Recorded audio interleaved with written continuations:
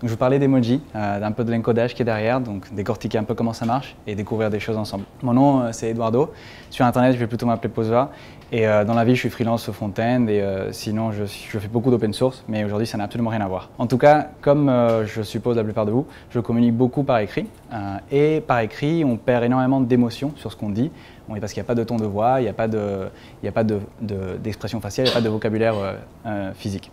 Donc cela a été remédié depuis très longtemps avec les émoticônes. Euh, donc ça va de la plus simple, que ce soit les deux points parenthèses pour dire, bon, pour, dire pour sourire, ou prendre l'élément, euh, un, caractère Unicode qui représente carrément l'image en question. Donc ça peut être un sourire, ça peut être euh, le bonhomme de neige, tous les émoticônes, tous les émoticônes que vous avez sûrement vus sur plein d'applications. Et ça peut aller plus loin, donc vous utilisez l'Unicode pour créer des expressions faciales ou carrément pour aller créer des mèmes si vous avez envie, comme celui qui balance une table. Mais nous, on va parler d'emoji, donc qui est l'étape d'après, donc c'est les Unicode avec euh, de la couleur. Euh, donc ça a été inventé par les Japonais en 1999, en vrai ça fait un, bail déjà.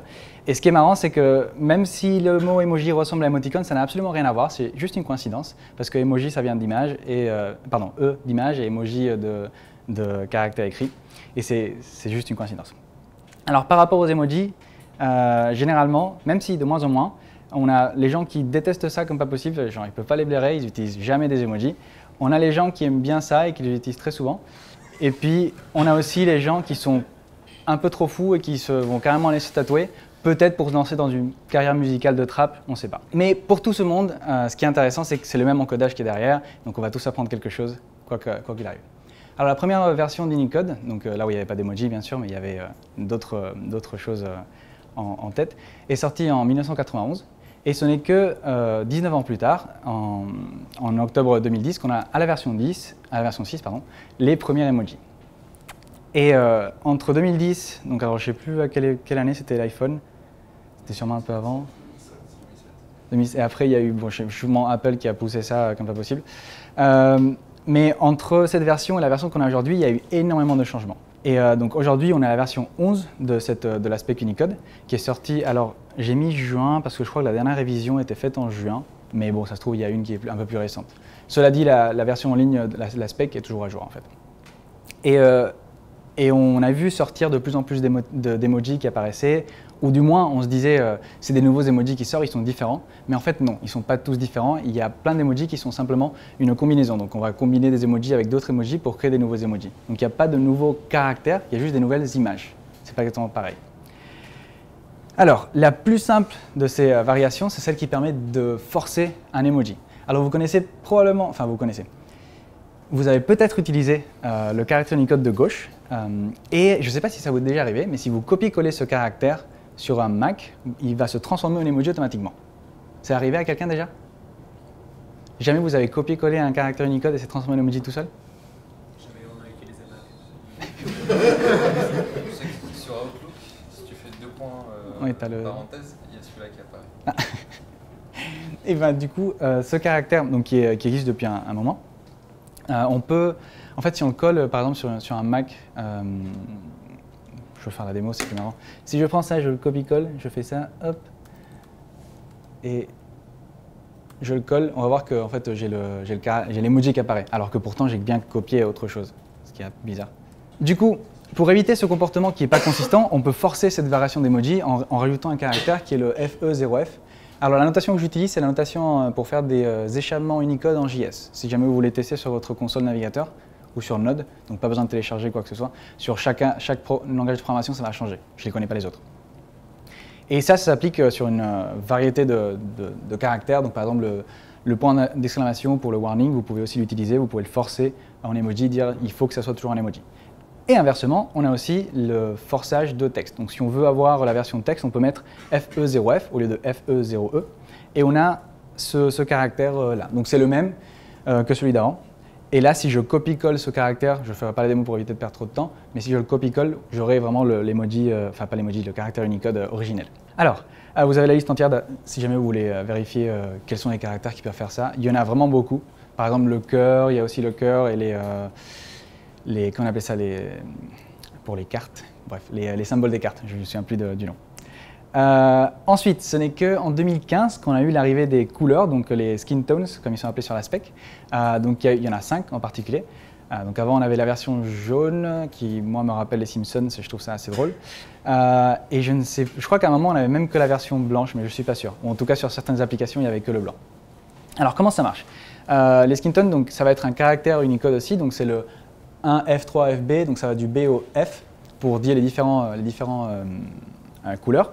Et ce caractère en question, il a une représentation visuelle, donc c'est ces petits carrés avec une couleur. Et si vous mettez un, emoji qui euh, est censé représenter une part du corps ou qui a une référence avec une personne ou un être humain, avec euh, juste après l'autre caractère de couleur, ça va se fusionner et ça va devenir un, nouveau, un nouvel caractère. Donc là, pour les afficher, par exemple, j'ai dû mettre un caractère qui n'a aucune, euh, qui n'est pas visible en fait, qui est invisible entre les deux, parce que sinon ça devient le caractère que vous voyez à droite. Ce qui est marrant, c'est que vous avez certaines exceptions. Alors bien sûr, si vous mettez ce caractère sur un objet qui n'est pas humain, genre une, euh, alors une baleine ou euh, vous mettez ça sur une poêle, bah, ça va rien faire, ça va juste apparaître sous forme de carré. Par contre, il y a certaines euh, versions qui ne sont pas supportées, par exemple le zombie, on ne peut pas lui mettre une couleur. Par contre, le vampire, on peut lui mettre une couleur. Et ce qui est drôle, c'est que la couleur va du gris au gris foncé. Parce que vous pouvez vérifier à la couleur avec le, un, mètre, un, couleur de mètre, c'est pas des couleurs naturelles de peau, c'est du gris au gris foncé, vraiment. Je sais pas. Bon, j'imagine différents déguisements, bien sûr. Alors, euh, donc, à cela, on va voir un, autre caractère qui va nous permettre d'aller un peu plus loin. Donc, c'est le Zero Width Joiner, ou, euh, enfin, comment l'appeler C'était une jointure, en fait, de caractères. Le code qui le représente, c'est le 20-0D. Et on l'appelle souvent ZJW pour des raisons assez, assez évidentes de longueur. Et sinon, on le voit aussi souvent représenté sous forme d'un carré avec ZJW à l'intérieur. Parce que finalement, il n'a aucune représentation visuelle, c'est-à-dire il, euh, quand on le colle, on le copie-colle quelque part, il n'apparaît pas, il est invisible. Et c'est grâce à lui qu'on va pouvoir, par exemple, faire les variations de genre. Donc si on a des emojis qui ont un genre prédéfini, donc par exemple, ça c'est les deux danseuses, alors, je crois que le nom c'était danseuses, Rabbit, euh, bon, c'était marrant parce qu'ils ont des petites, euh, ils ont des, des, oreilles de, de lapin. Donc si vous mettez ensuite le Z, donc la, jointure, que je vais appeler, donc c'est le 20-0D, et vous rajoutez le symbole de sexe, donc par exemple ici le 2642 c'est celui de, mâle, bah vous allez avoir la version masculine qui existe. Alors je pense que la plupart de vous ne connaissez même pas cet emoji, mais qui pour le coup existe vraiment. Et c'est vraiment le même emoji mais avec, euh, avec une version masculine euh, à la place. Euh, de même, on a des emojis qui existent par défaut en version masculine et qu'on peut transformer en, version féminine en utilisant euh, le symbole de femelle. Donc avec bien sûr la jointure, et c'est comme ça qu'on obtient euh, par exemple la zombie. Il y a quelques exceptions, alors il y a une liste entière qu'on peut regarder en dessous, mais j'ai retenu celle-là parce que je trouve marrant, donc il y a le Père Noël et la Mère Noël, et il y a ce monsieur-là, donc qui s'appelle Monsieur en costume qui lévite, littéralement, et qui n'accepte pas de changement de sexe, de changement de genre, pardon. Euh, ensuite, on peut aller plus loin, donc il y a les professions, mais pas que des professions. Donc on utilise le même caractère de jointure, on met une personne à gauche, donc ça soit euh, la version homme ou femme, et on rajoute par exemple une poêle avec un œuf qui se fait cuire, et on a une cuisinière. C'est pas une blague, vous collez, euh, vous collez, vous transformez le, vous mettez ça entre guillemets dans votre console JS, vous verrez apparaître la cuisinière. Et pareil, si vous mettez par exemple du blé, vous avez quoi? Bah, Une fermière, bien sûr. Très évident. bien sûr, on peut combiner le tout. Donc si on utilise par exemple le carré pour changer la couleur d'une personne, il faut bien sûr le mettre juste après la personne. Si vous le mettez autre part, ça ne va pas marcher, l'ordre est très important. Vous joignez avec l'ordinateur et vous avez une femme brune qui est derrière un ordinateur. Voilà. Euh, emoji que vous avez sûrement vu souvent. Alors si vous voulez vous amuser avec ça, euh, ça c'est les morceaux de code en JS que j'ai utilisés. Donc c'est une première fonction qui va prendre, donc x est une fonction qui va prendre un petit texte et va le séparer en caractères et m'a donné le code hexadécimal de chacun de ces caractères pour pouvoir jouer avec, parce que certains caractères ne sont pas visibles, donc les copier, c'est un peu difficile des fois. Et euh, donc en fait, par exemple, vous pouvez voir que le cœur, c'est une version forcée d'un caractère Unicode qui existait. Et on a par exemple le vampire qui par défaut est, est, une femme, et il faut le joindre avec le, avec le, le sexe. Et le dernier, je ne sais même plus ce que c'était. Et l'astronaute qui est par exemple en utilisant le, rocket, euh, qui est tellement utilisé aujourd'hui euh, partout. Euh, donc j'espère que vous avez appris quelque chose sur cette courte, présentation et vous jouerez un peu avec les, les emojis. Vous pouvez regarder la, spec si ça vous fait plaisir. Elle est un peu longue, mais vous n'avez pas besoin de la lire en entière. Elle est assez intéressante. Il y a plus de choses dont je n'ai pas parlé. Par exemple, il y a les, drapeaux qui ont aussi une spécification. Et il y a le changement des directions qui n'est pas implémenté, mais qui à bout devrait exister. Donc vous pourrez changer les emojis de sens, ce qui est assez cool. Merci. J'ai pas compris le nom de ta présentation, Malabarisme. Parce qu'on peut les mélanger entre eux Les mélanger entre eux? Ouais. Parce qu'en fait, tu as un emoji, tu les fais en plusieurs, du coup, tu peux jouer avec eux. ok. Non? Et l'autre question, c'est euh, euh, comment tu as été amené à découvrir euh, ça? Ah, pourquoi j'ai pourquoi fait ça? En fait, ça, fait un moment. Je crois que j'étais en train de regarder des choses d'accessibilité avec les emojis et je me suis dit, ah oui, c'est ça. Je, m'étais intéressé à l'accessibilité par rapport aux emojis et comment un screen reader allait lire correctement tout ça. Et s'il y avait besoin d'automatiser certaines tâches pour transformer un, un, emoji en texte. Et je me suis rendu compte que du coup, les screen readers marchaient plutôt bien, au moins sur Mac, déjà celui de base, mais que tu pouvais diviser un emoji en plusieurs morceaux et ressortir les différentes significations de, de, ce, de cet emoji. C'était comme ça que j'avais trouvé. Pourquoi pour les skin tones, il n'y a pas besoin de, caractères qui les joints, alors que ah. pour les professions, il y en a un eh ben, je me demande la même question, mais j'ai pas l'impression. Je pense que c'est une question de, de, temps. Les skin tones sont apparus avant que les, euh, que les jointures, mais je suis même pas sûr. Toi, tu, tu sais la réponse? Non, non. Non, je dis à la personne qui est derrière. Les skin tones, c'est comme des accents. C'est un, un, caractère qui vient modifier quelque chose qui est avant, alors que les autres trucs, c'est vraiment deux caractères séparés qui sont joints par un troisième. Enfin, techniquement, c'est différent. C'est-à-dire que tu aurais envie de pouvoir mettre deux caractères qui euh, peuvent être jumelés ensemble, alors que le skin tone, tu peux pas le mettre tout seul. C'est ça que je Oui. Ouais. c'est qu'un accent, donc c'est qu'un modifier. Donc si tu le mettrais tout seul, par exemple, il pourrait te montrer comme parfois tu vois euh, un caractère pour un accent aigu seul, ou un carré vide avec juste l'accent aigu par-dessus. Là, ça serait pareil, dans un espèce de, de truc pas représenté. Merci. Oui euh, Du coup, j'ai l'impression que ça modifie vachement ce que ça veut dire euh, un caractère.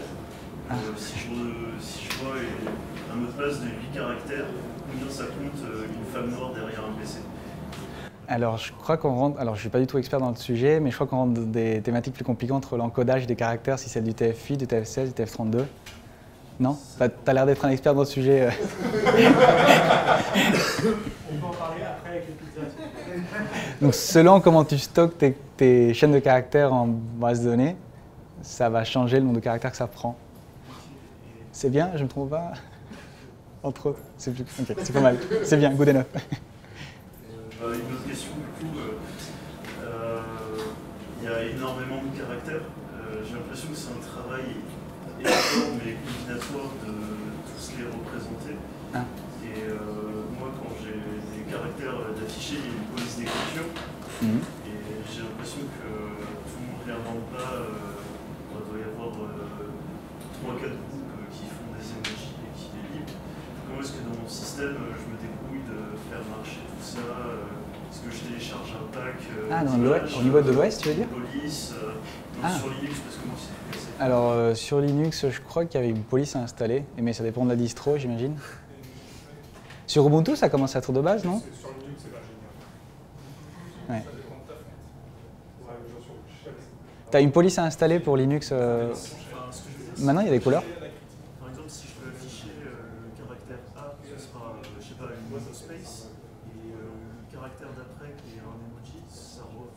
Ah, ça fout le bordel sur, euh, sur ta chaîne oui, mais ça c'est partout. Hein. Ça c'est partout. Sur, euh, Dès que tu as une police monospacée et que tu mets des, des emojis, ça fait le bordel.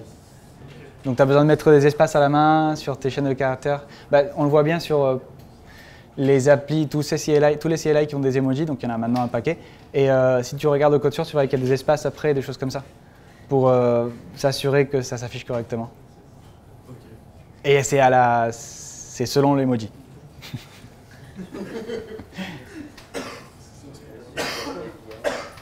Alors, je, la, réponse est. Je, la question, du coup, c'est. Euh, je, la répète, mais parce qu'elle était un peu longue. Est-ce que dans, les applications comme GitHub et Slack, il y a une représentation textuelle des emojis Et euh, est-ce qu'il y a quelqu'un ou un organisme qui s'en occupe? Alors, je n'ai aucune idée, pour être honnête. Euh, je sais que les emojis ont une description, donc un nom officiel, et qui est spécifié dans la spec Unicode, ou du moins, c'est ce que j'ai pu comprendre en la lisant.